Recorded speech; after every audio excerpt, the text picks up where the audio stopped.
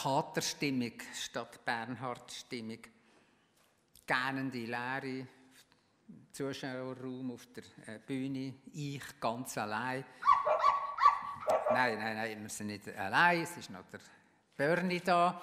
Er symbolisiert Bernhard Gemeinde. Er ist übrigens seiner Zeit voraus. Er trägt bereits eine Schutzmaske. Ich selber bin noch auf dem Wissensstand der Virologen vor zwei Wochen äh, stehen geblieben. Die haben ja damals gesagt, Masken seien nicht nötig, einfach darum, weil es keine hat. Aber in der Zwischenzeit haben jetzt Nationalräte eigenhändig Masken aus China daher geflogen oder sie haben sie im eigenen Chemieunternehmen gerade zur Verfügung gehabt.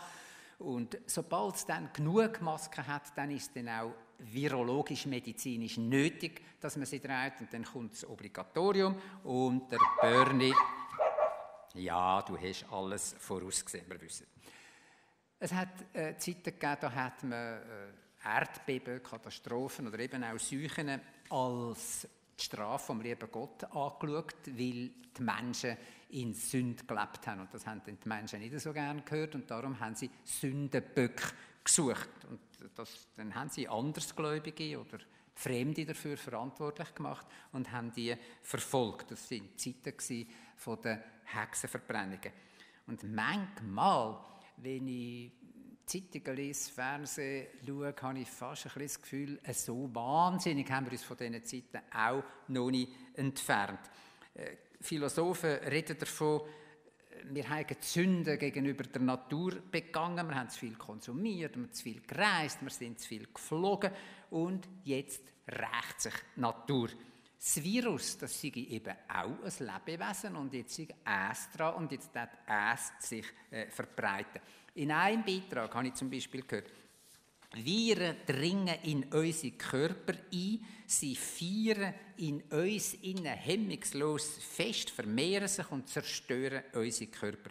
Und genau so würden wir Menschen uns gegenüber der Erde äh, benehmen. Äh, wir sind Parasiten und jetzt haben wir die Antwort dafür. Und dann müssen wir sich eigentlich fragen, liebe Gemeinde, sind wir nicht alles Viren? zu Recht, zu Recht, zu Recht protestiert der Bernie.